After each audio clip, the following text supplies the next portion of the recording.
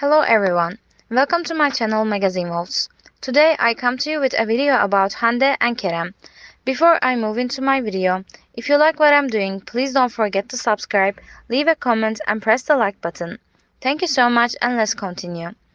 A recent turn of events has sparked intrigue and speculation among fans and the media, as it was reported that the the car of actor Kerem Bürsin was allegedly spotted parked inside the garage of his rumored girlfriend, Turkish actress Hande Erçel.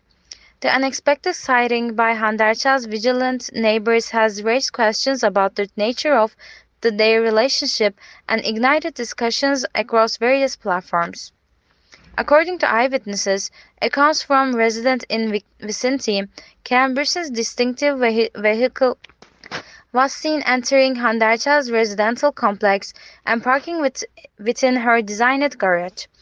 The news of this unusual occurrence spread like wildfire, leaving fans and onlookers curious about the connection between the two popular stars.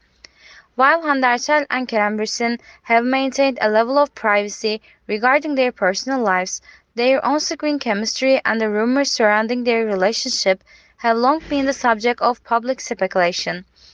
This latest incident has only intensified the curiosity surrounding their alleged romance. The sighting has caused a whirlwind of reactions among fans, with some eagerly interpreting it as evidence of a blossoming love story between the talented actors. Social media platforms have been abuzz with discussions, speculations, and shared excitement. As fans eagerly await official confirmation or a statement from the duo. However, it is important to exercise caution and remember that private lives are entitled to their share of confidentiality. While the sighting may suggest a deeper connection between Hande Erçel and Kerem it is crucial to respect their privacy and refrain from making assumptions without concentrate evidence or official statements. Thank you so much for watching my video. See you in next video. Take care and